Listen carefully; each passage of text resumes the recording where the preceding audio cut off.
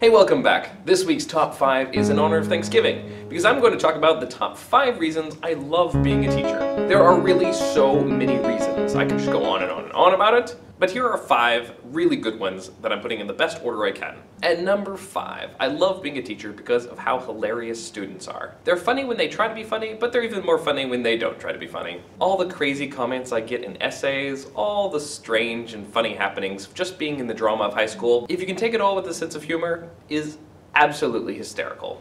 Who needs a Netflix account when you teach crazy students all day? Endless entertainment. And number four, I love how creative students can be. When given the opportunity, I've found that students can do all kinds of magical things. They generally are as awesome as you let them be. That's why my classroom is filled with amazing student art everywhere. I've seen so many um, fantastic student projects. I've seen so many creative and wonderful ways that students are able to express their minds and their selves and, and all of their wonderful ideas. And it's my own personal philosophy that the more creative the classroom, the more the learning sticks with you. So thanks to all my brilliant students for being so awesome and creative. At number three is how kind young people can be. Yeah, I know young people also make lots of mistakes. There's also all kinds of issues that show up in high school that are really sad.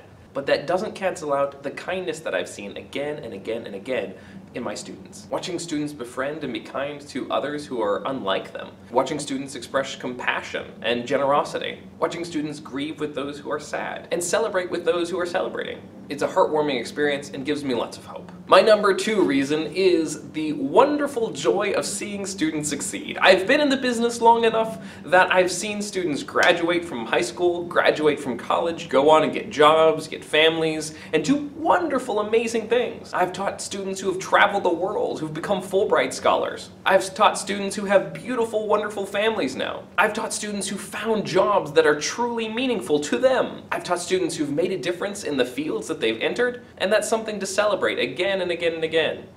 This past summer I went to a wedding of two of my former students, and it was so wonderful to see the huge crowd there, all the young people who I taught.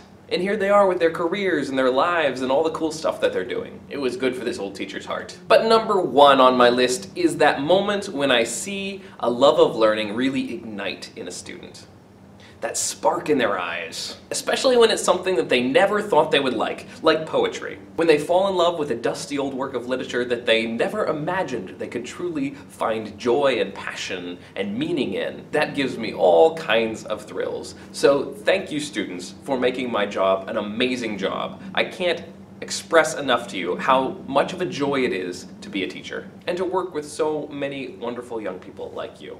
Thank you. Thanks for watching. You can watch another video or subscribe, and I'll see you next time.